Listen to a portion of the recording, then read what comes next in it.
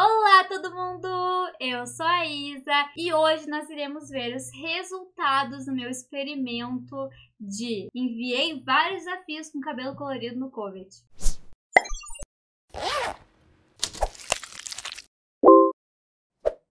Não foi necessariamente uma semana, nem tipo vários desafios, foi uma coisa mais aleatória assim, eu peguei alguns desafios e fui fazendo de cabelo colorido, fui enviando de cabelo colorido porque sinceramente, tô entediada. Tô entediada com o Covid. Tô entediada, gente. É, é isso. Acho que todos estamos, na verdade, né? As séries são sempre as mesmas, é tudo sempre o mesmo. Parece que é um looping. Agora esse bug do Rally fica acontecendo comigo o tempo todo. Então, assim, eu quis fazer isso. Eu, inclusive, enviei desafios do Rally, enviei desafios da série que teve com cabelo colorido, porque eu quero me mexer do jeito que eu quero no jogo, entende? Se eu tivesse dinheiro no jogo e quisesse gastar, tivesse coragem de gastar, eu vestiria mais ainda do jeito que eu quero. Mas eu quis fazer isso, enviei vários desafios e printei todos os resultados para mostrar para vocês. Mas atenção às regras para ninguém vir aqui no comentário e falar assim: se você tivesse maximizado, teria tirado uma nota boa, teria tirado 5, teria conseguido dois prêmios. Meu, a gente não vai analisar a nota inteira, a gente vai ignorar os bônus, porque não importa os bônus nesse experimento. A gente quer ver a nota da votação, gente. Então apenas a nota da votação vai importar. Se eu tirei 5, se eu não tirei 5, tá, ó. Tanto faz. Apenas a nota da votação vai importar, ok? Então a gente vai dar a nota da votação, que a gente não sabe exatamente como ela é feita. Já fiz um vídeo explicando mais ou menos como eu achava que era feita? Já, já fiz um vídeo aqui. Mas a gente não sabe como ela é feita. Então, né, a gente vai olhar no da votação pensando que foi o que as pessoas votaram. Porque é o que faz mais sentido. Então, se as pessoas votaram muito, eu tirei uma nota melhor. Se votaram pouco, eu tirei uma nota menor. Né? Faz sentido. Ah, e tem mais uma coisa também. Tem alguns looks meus horríveis ali. Mas eu vou admitir quando ele tá feio, entendeu? Se você acha que ele tá feio também, você pode comentar, não tem problema. Eu não sou muito apegada com looks no Covid, até porque eu faço eles em tipo 5 minutos. Mentira, eu faço eles em tipo 30 segundos. Alguns looks meus estão ruins mesmo, mas alguns, gente, estão muito bons e, enfim, vamos ver as notas. Como eu falei, são, foram desafios bem, tipo, aleatórios, então tem alguns desafios aqui que vocês talvez se lembrem, outros não. Mas esse look aqui, eu vou falar a verdade pra vocês, eu gostei, tá? Eu gostei, eu achei que esse cabelo, esse específico cabelo azul, ficou tipo uma chiqueza. Como é que é? Ficou chique, gente, ficou bonito, ficou elegante. E eu tirei, eu tirei 3.30 na votação que o Covid tem contra cabelo? O que vocês têm contra cabelos coloridos? Porque esse é a nota da votação. Então, assim, eu tô bem chateada porque tem muitas vezes que eu quero usar cabelos coloridos em momentos, tipo, normais. Tipo, agora que ela tava indo pra um encontro. E eu vou arriscar tudo pra usar esse verniz desse cabelo, entendeu? Porque eu quase não ganho ainda o prêmio. Então, assim, 3.30 é muito... Ai, gente, muito triste, muito Vamos para o próximo look, que foi esse daqui. Acho que era um dele, não sei. Mas eu quis botar esse cabelo que eu acho ele lindo, é um cabelo de nível médio ali, né? Um médio, não é alto na verdade, mas é aqueles cabelos laçantes, aqueles cabelos bonitos, cabelos. Aqueles cabelos bonitos que normalmente chamam atenção. E eu amo esses cabelos coloridos desse cabelo, porque eu, eu acho que os tons são muito lindos. Então eu coloquei esse daqui, que tem até uns tons de amarelos. Na real que é um rosa pastel com loiro e roxinho. É muito lindo. E de novo, gente, eu tirei 3.84 na votação. Acho que vocês estão sendo muito duros comigo, não sei. Será que eu não entendi? Será que esse vestido tava feio? Não sei, mas por que esse ódio, sabe, contra cabelos coloridos? Esse look aqui, ok, ele está mais simples, mas ele está muito bonito do mesmo jeito, ok? E eu amo os cabelos coloridos nos cabelos cacheados. Eu acho que eles ficam, tipo, muito massa. A execução fica muito massa, porque é sempre com a raiz escura. Fica muito lindo. E nesse daqui eu me surpreendi, sendo que, como vocês podem ver, eu nem, eu nem coloquei itens novos, tipo, porque eu não dei nada pra esse look. E era aqueles looks que eu tava fazendo que nem estavam no rally, que eu tava fazendo só pra ganhar dinheiro. E, gente, eu tirei 4.30 da votação. Olha, não sei vocês, mas eu considero essa uma nota muito alta já. Se a gente tá vindo de menos 4 pra 4.36, eu acho que foi muito bom. Então esse cabelinho, ó, tá aprovado colorido. Se a gente quiser, a gente pode testar em outro vídeo com as melhores notas aqui, ver se realmente o cabelo tava bom ou se foi só uma sorte. Esse esse look, eu tenho que admitir que tá feio. Foi bem difícil encontrar um cabelo colorido que encaixasse com ele. Nem ganhei nenhum prêmio e, assim, realmente não vou ficar nem com raiva disso porque tá feio. Mas esse cabelinho aqui é um cabelo que eu acabei de receber num nível, acho que no 75 ou 76. Ele é um cabelo bem retrô, assim, parece super da do Coisa Mais Linda. Ai, gente, vou deixar foto aí pra vocês verem porque eu não lembro o nome dela. Malu, Malu, Malu do Coisa Mais Linda. É um cabelo igualzinho dela, gente, esse cabelo aqui. Eu acho ele lindo, eu adoro, mas toda vez que eu usei ele, levei bomba. Então, assim, talvez realmente aqui a culpa não seja do colorido, mas de tudo. Mas enfim, eu tirei 3.64 aqui, não vou discutir muito esse porque o look tá realmente deixando muito a desejar. Agora, esse aqui, eu fiquei muito em dúvida na minha cabeça se o branco seria considerado um cabelo colorido. E eu acho que sim, porque a gente tem o Platinum, que seria um cabelo loiro bem claro, e a gente tem o White, que é tipo literalmente branco, sabe? Então eu acho, eu considero, não sei vocês, me digam aí embaixo, eu considero que o White é um cabelo colorido. Então eu usei ele aqui nesse desafio, achei que encaixou super. Eu estava apreensiva, mas eu acho que ele se destacou, fez com que ele se destacasse na passarela, porque eu tirei 4.54 tudo bem que todo o meu look tava assim, ó, muito bom, né? Tava bem na tendência, que eu olhei várias tendências pra fazer. Mas o cabelo, ele poderia ter me puxado pra baixo. Só que não puxou. Fiquei muito feliz com esse resultado. Agora, mais um cabelo vítima da votação ruim de vocês. Porque esse cabelo é lindo. Esse cabelo é lindo colorido. Eu tentei puxar, assim, cabelos coloridos que eu já tivesse visto em alguém, sabe? Tipo um cabelo tom pastel, uma coisa mais desbotada.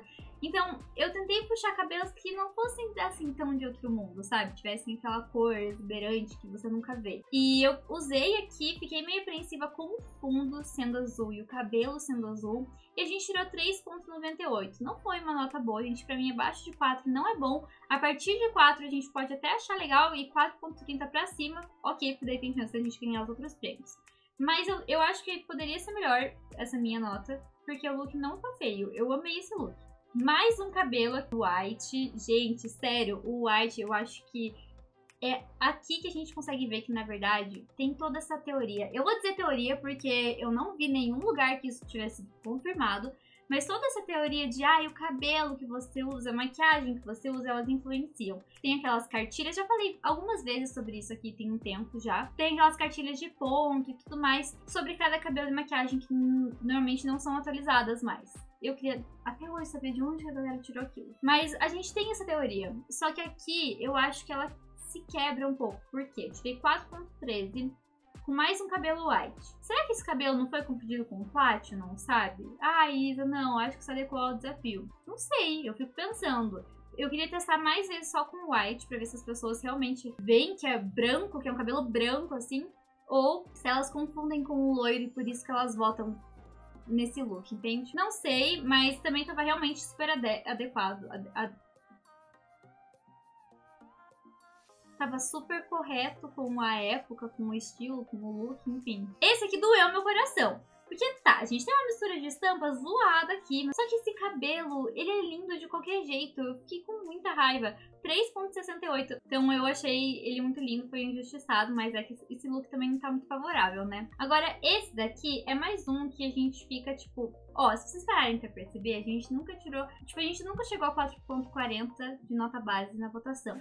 Tudo bem, é difícil ganhar essa nota em qualquer desafio que seja, independente da cor de cabelo que você usar. É verdade, você tem razão que é difícil ganhar essa nota. Então, 4.30 pra mim é quase um 5 da votação, entendeu?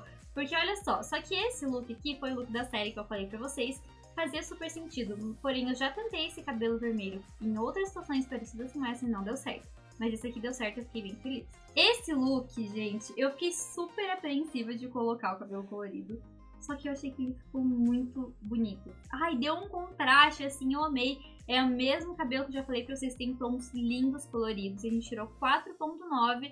Eu gostei, mas eu acho que merecia mais. Eu acho que esse é o verdadeiro injustiçado da série de looks que eu mostrei aqui até agora. Ó, novamente o cabelinho. Esse look ficou feio, né, gente? Eu não vou nem, nem discutir, ficou feio. Mas esse cabelinho, injustiçado. Ninguém deixa usar qualquer outra cor de cabelo nesse cabelo que não seja preto. Esse aqui, gente, eu trouxe... Ah, isso não é cabelo colorido. Não é cabelo colorido, mas é o cabelo ruivo. Bendito cabelo ruivo, que é muito injustiçado também. Que nunca dá nota boa, que ninguém nunca usa. E olha, gente, ele tirou 4 não, 3.48. O look tá zoado? Sim, está um pouquinho zoado, mas eram as peças que eu tinha pra fazer o desafio do flashback. Só que mesmo assim, eu fiquei, pô, nem ruivo, gente. Parece um marrom isso daqui e mesmo assim não foi. Ok, pode ser pelo look. Eu sei que vai ter gente que vai comentar aqui. Ah, porque 90% das notas que você tirou por causa do seu look. O foco do vídeo não é o look. O foco do vídeo é o cabelo colorido. Esse look, admito ficou esquisitão também. Mas esse cabelo é muito bonito. Enfim, eu, eu não sei o que dizer daqui, desse 3.52. Né? Meu, a maioria das notas que a gente teve com cabelo colorido foi 3 ponto alguma coisa. Normalmente, quando a gente não tá com cabelo colorido, é difícil tirar um 3 ponto alguma coisa. Não, de, não raro, mas tipo, bem menos. Vem mais 4, 4.9, 4.20. Agora, com cabelo colorido, parece que você despenca muito mais. Parece não, você despenca muito mais. Tudo bem que assim ficou confuso, ficou feio o cabelo misturado com esse acessório de cabelo, mas tô só mostrando quanto a quantidade de três que a gente tirou. Esse look aqui ficou horroroso mesmo, não vou nem discutir, foi, ficou, ficou feio, ficou feio. Agora esse daqui, gente, olha só. Eu vou defender esse look até o fim, porque pra mim ele ficou lindo. Esse cabelo aqui tem um degradê maravilhoso. É a coisa mais linda do mundo, a gente tirou 4.4 looks injustiçados. O cabelo combinou sim. Tava tudo dentro de uma paleta de cores perfeita. E ó, novamente o white atacando. Esse aqui eu fico morrendo de medo de colocar esse cabelo. E eu coloquei e tirei 4.28. Então a gente já vê, vê, eu não sei vocês, vocês podem falar que não, podem falar isso, falar aquilo, mas o white é muito mais próximo do branco platinado, que é próximo do loiro. Agora, esse daqui eu coloquei pra testar mesmo, porque eu queria saber se até o cabelo que tem tipo só uma mechinha colorida iria tirar tanta nota da minha votação. E a resposta é que não, porque esse daqui, ele tem essa, essa trança colorida, combinou com o, o desafio e eu tirei 4.48. E eu acredito que seja porque tem bem menos colorido que os outros, né, gente? Se você passar, você nem vê o colorido ali. Então, a gente já tem essa questão do white com o platinum e a questão de um cabelo normal só com uma mechinha colorida. Vamos fazer as considerações finais. Vocês podem falar o que vocês quiserem, vocês podem não acreditar que tem a ver com o cabelo, ou vocês podem acreditar que tenha totalmente a ver com cabelo, ou que seja uma junção de coisas, de, do look ruim e tudo mais, e que o colete é difícil mesmo, que é complicado de conseguir nota 4.4 em desafios usando loiro e cabelo ou cabelo preto. E, enfim, vocês podem falar do jeito que vocês quiserem, sinceramente. Eu também não sei. Ninguém sabe realmente como é que funciona essa votação, essa nota, a gente não sabe. Mas, realmente, eu tive um volume muito maior de notas 3 com cabelo colorido. As melhores notas foram com cabelo branco ou com cabelo normal, com uma trancinha que tem alguns fiapos coloridos. Então eu acho que realmente a galera que joga Covet é tipo um povo muito conservador, gente. Não é possível. Toda vez que eu tô votando, eu tento votar pelos cabelos coloridos. Eu juro que eu tento. Mas enfim, fica aí o questionamento, gente. Fica aí. Eu espero que vocês tenham gostado dessa, desse experimento rápido que eu fiz. Se você gostou, deixa seu like. Não esquece de comentar sua teoria aqui. Se você acha que a culpa é minha, se você acha que a culpa é das pessoas que votam, se você acha que é o próprio jogo que faz alguma coisa maléfica pra você não usar cabelo colorido, o que é muito esquisito, porque querendo ou não, eles dão cabelo colorido pra gente usar e ninguém usa. Mas enfim, gente, comenta aí sua opinião e não esquece de deixar o seu like e de se inscrever no canal. Tchau!